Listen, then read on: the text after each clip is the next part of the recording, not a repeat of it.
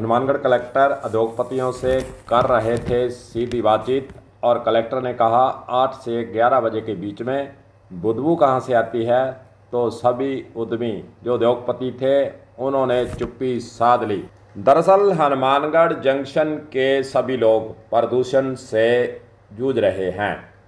काफ़ी मसला पुराना है, काफ़ी सालों से यही समस्या चली आ रही है।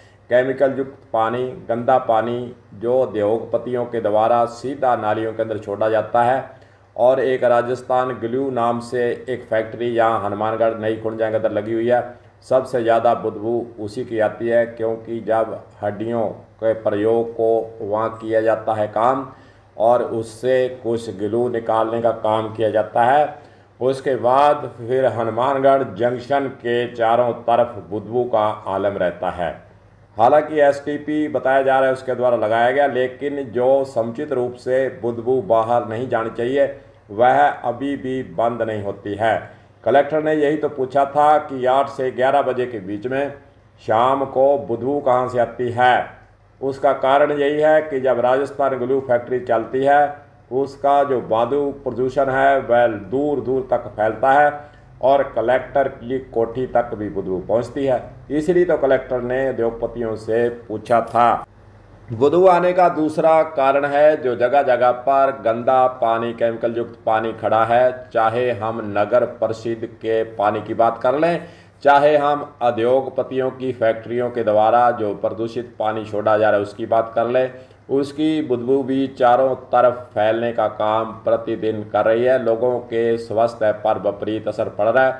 उद्योगपति अपना रोना रो रहे हैं कि डंपिंग यार्ड नहीं है, नालियों की सफ़ाई नहीं है। हालाँकि ये काम होना चाहिए और जो पेड़ पौधों की बात की जा रही है, बताया यही जा रहा है कि रिको के द्वारा पिछले साल टेंडर भी किया गया। आठ लाख का लगभग टेंडर किया गया। लेकिन आठ लाख के पौधे कहाँ गए? जो सवाल वहीं का वहीं खड़ा है। उद्योगपतियों के द्वारा भी पूछा गया और मीडिया के द्वारा भी बार बार रिको से पूछा जा रहा है कि पौधे कहाँ गए, पेड़ कहाँ गए, या फिर आठ लाख कागजों में पौधे लग गए।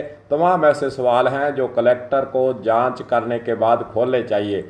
और कलेक्टर को यह भी जानना चाहिए कि फैक्ट्रियों के अंदर जाकर उनका थोड़ा निरीक्षण टीम के द्वारा अब जो उन्होंने कहा करवाएँगे।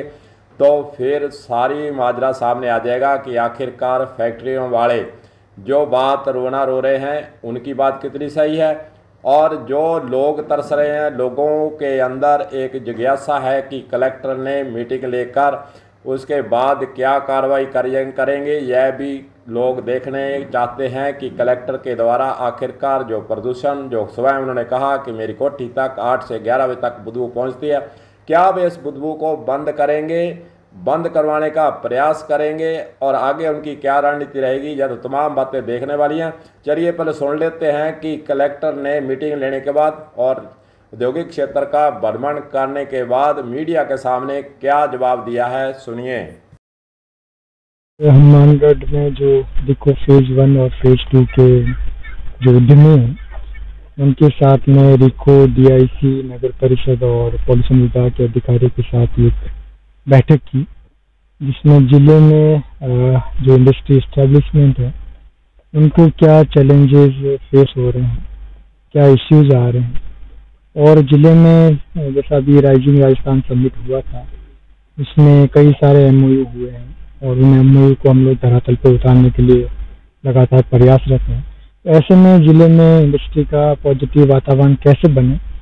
इन सुझावों को लेकर चर्चा की गई और सभी उद्यमियों ने अपने अपने अच्छे विचार रखे। जितने भी इश्यूज़ आए हैं कुछ में डिफरेंट व्यूज़ भी थे, उनको हम लोग मेरिट पे एग्जामिन करेंगे और प्रयास करेंगे इनकी रोड को लेकर, नाली को लेकर, विशेष तौर पर वाटर डिस्चार्ज को लेकर एक बड़ा इश्यू है, जिसमें पानी अभी हम लोग देख रहे वहाँ भरा हुआ भी था। तो इन इश्यूज़ को बहुत जल्दी एड्रेस कराया जाएगा और प्रयास रहेगा। इन सबके साथ लगातार संवाद करते हुए ज़िले में औद्योगिक विकास का एक सकारात्मक बताऊँ ये सारे बिंदु वहाँ पर चर्चा हुए थे। जिन्होंने ए लगा रखा है कौन सा फंक्शनल है, कौन सा फंक्शनल नहीं है। तो इसमें हमारी टीम वर्क करेगी। जहाँ नॉन फंक्शनल है, उनको ऑपरेशनल कराया जाएगा। और प्रयास रहेगा दोनों ही तरह कि मानव पर किसी तरह का नेगेटिव इम्पैक्ट नहीं आए।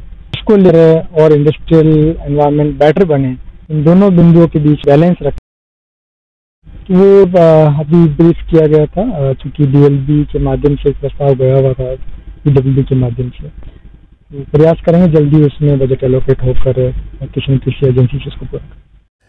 कलेक्टर ने मीडिया के सामने यही कहा है कि उद्यमियों से बातचीत की गई है, वहीं दूसरी ओर भ्रमण किया गया है, मौका देखा गया है और एक अधिकारियों की टीम बनाकर सभी इंडस्ट्रीज़ एरिए को चेक करवाया जाएगा। जो बातें सामने आई हैं, प्रदूषण को लेकर बातें सामने आई हैं, जहाँ फिर नालियों के रख रखाव सफ़ाई की सामने बात आई है, पौधों की बात आई है, तमाम ऐसे बिंदुओं पर अधिकारियों की टीम के द्वारा जाँच की जाएगी और उसके बाद फिर जो भी फैक्ट्री वाला नियमों की अवहेलना कर रहा है, उसके विरुद्ध कार्रवाई भी अमल में लाई जाएगी। अब देखना यही है कि सालों से यह समस्या बनी हुई है। कलेक्टर आते हैं और बदल जाते हैं। नियम, कानून, कायदे की बातें तो करते हैं, लेकिन अधिकारियों के स्तर से जो कलेक्टर के आदेश होते हैं, उसकी पालना वह सही तरीके से होती नहीं है। इसीलिए समस्या यह लगातार लंबे समय से चल रही है, दूर नहीं हो रही है।